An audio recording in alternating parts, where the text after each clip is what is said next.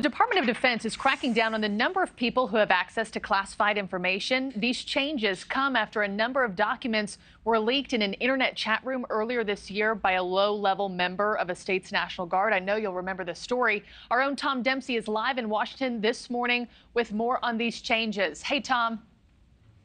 Hey, good morning, Margie. Yeah, this morning, staff at the Pentagon say they're going to be tightening up security measures for who has access to classified documents. Of course, this all comes as a 21 year old Massachusetts Air National Guardsman sits behind bars for sharing military secrets on a chat that's popular with video gamers. Earlier this year, 21 year old Massachusetts Air National Guardman Jack Teixeira was arrested by police after he allegedly leaked sensitive military documents inside a chat room on Discord, which can be a hangout for video gamers.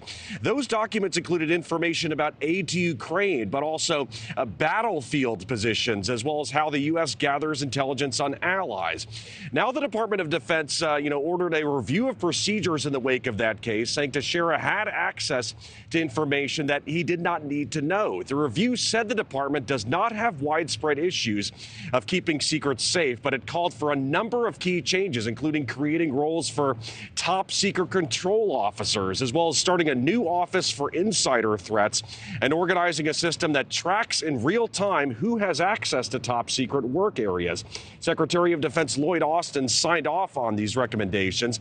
The Pentagon review also found, quote, the overwhelming majority of DoD personnel with access to classified national security information comply with security policies, processes, and procedures and recognize the importance of information security in maintaining our national security. The Massachusetts Air National Guardman has pleaded not guilty to the uh, multiple charges against him, but if he is found guilty, he faces the possibility of decades behind bars. Guys, Tom, thank you so much. Thank you for watching. Go to newsnationnow.com to find News Nation on your television provider. And don't forget to click the red subscribe button below to get more of News Nation's fact driven, unbiased coverage.